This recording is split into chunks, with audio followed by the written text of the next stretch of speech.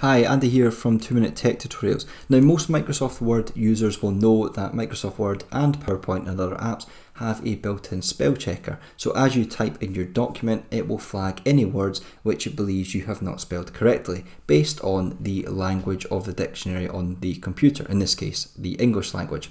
You'll see here I've put in some placeholder text. This is Lorem Ipsum, so it's Latin. It's going to flag lots of errors, but you'll be familiar also with the fact that usually you can right click and choose add to dictionary for any words which it flags as being incorrectly spelled. So this tends to be things like web addresses, or company or business names or perhaps people's names which the system thinks are incorrectly spelled. Now every time you right click on a particular word and add it to the dictionary it is actually adding it to a custom dictionary in the back end of Microsoft Word and in this video I'm going to show you how you can access that dictionary, how you can edit the words which are saved there and how you can then delete other words that are saved in there too. So what we want to do is to open that custom dictionary, we want to head up to the very top bar, click on Word and go down to Preferences. And then we're going to head along under Authoring and Proofing Tools to Spelling and Grammar. Now from here you can see that the custom dictionary is set to custom dictionary and there is only one. That's usually the case for most users on Microsoft Word.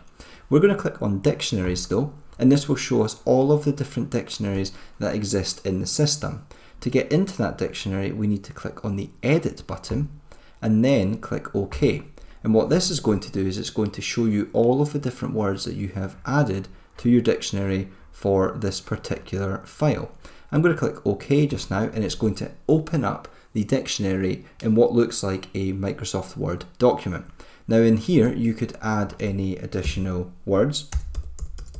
So let's say for example I work for a company called Ingenico so let me just um, pop in the title there and I'll maybe put one other one.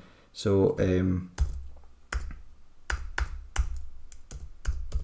something like that. Okay, so we can add another word in. Now, any type I, anytime I type either of these words in my documents, it's not going to flag them now as being incorrectly spelled because I've added them to the dictionary. But the one thing I need to do before I finish up is make sure I click on the Save button and then choose to save which is going to actually save these words within that custom dictionary. Now all I need to do is click on the cross at the top of the custom dictionary and because I've saved it, it's now going to have added these words to the dictionary. The problem is in doing that we have actually switched off the automated spell checker. So what we need to do now is we need to go back up to Word, to Preferences, back into Spelling and Grammar and I'm going to make sure that I check this check spelling as you type option and then I'll close this menu back down and you'll see that it starts to flag any words that it thinks is incorrectly spelled.